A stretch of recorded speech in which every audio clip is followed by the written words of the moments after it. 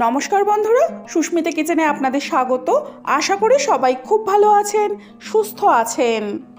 বর্তমান সময়ে ছোট থেকে বড় সবারই কিন্তু ডেঙ্গি হচ্ছে।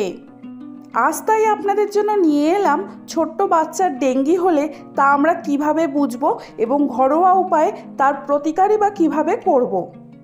ডেঙ্গু জ্বরের বেশিরভাগই হয়ে থাকে অনূর্ধ্ব পনেরো বছর বয়সে।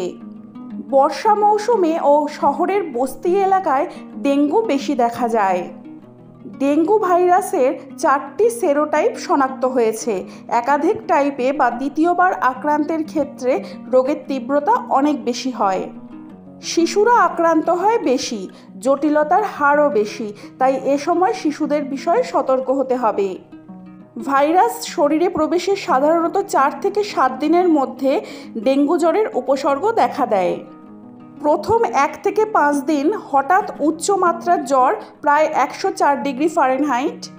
সঙ্গে বমি বমি ভাব, র্যাশ, উপসর্গের প্রথম বা দ্বিতীয় দিনে ত্বকে লাল ফুসকুড়ি অথবা অসুখের চার থেকে সাত দিনের মধ্যে হামের মতো লাল বিন্দু দেখা যায়। হাড়ের জোড়ায় গাঁটে ও মাংসপেশিতে প্রবল ব্যথা হয়। কিছু লক্ষণ বিপজ্জনক চিহ্ন হিসেবে স্বীকৃত। সেগুলো হলো পেটে ব্যথা, অনবরত বমি, শরীরে জল জমা, নাক ও মাড়ি থেকে রক্তপাত। অতিরিক্ত দুর্বলতা, অস্থিরতা, লিভার স্ফীতি, অনুচক্রিকা দ্রুত কমতে থাকে।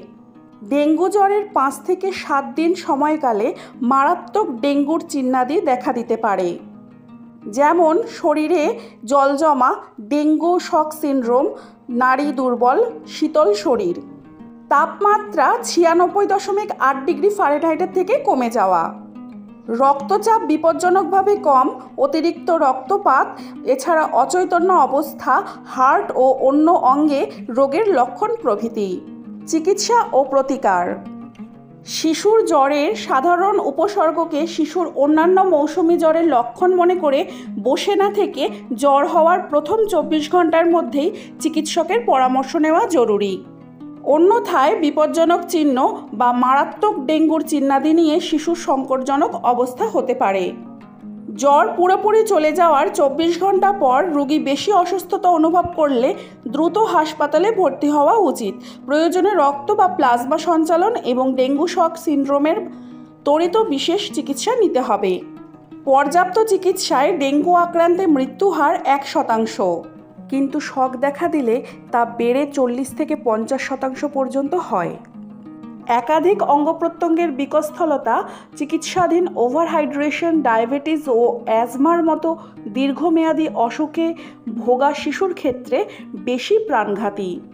রোগ জটিলতা থেকে পরবর্তী সময়ে চুল পড়ে যাওয়া, ডিপ্রেশন, ট্রান্সভার্স, মাইলাইটিস ও গিয়েনবাড়ির মতো স্নায়ুরোগের ঝুঁকি থাকে। এখন বৈশ্বিকভাবে ডেঙ্গু প্রতিরোধের প্রধান উপায় এডিস মশার কামড় থেকে নিজেকে রক্ষা করা। শিশুকে ফুল শার্ট, ফুল প্যান্ট ও মোজা পরানো দরকার। প্রয়োজনে দিনেও মশারি টানিয়ে ঘুমানো উচিত। ঘরোয়া চিকিৎসা।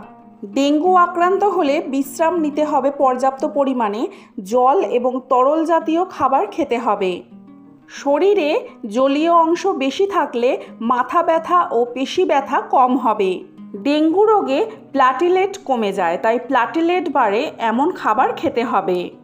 যেমন সাইট্রাস, ফল, কাঠবাদাম, দই, সূর্যমুখী বীজ, গ্রিন টি, ক্যাপসিকাম, ব্রোকলি, পালং শাক, আদা, রসুন ও হলুদ। পেয়ারার শরবত পান করা যেতে পারে।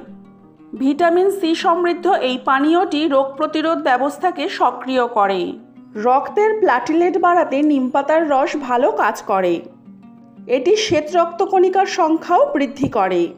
নিমপাতার রস রোগ প্রতিরোধক ক্ষমতা বাড়াতেও কার্যকরী।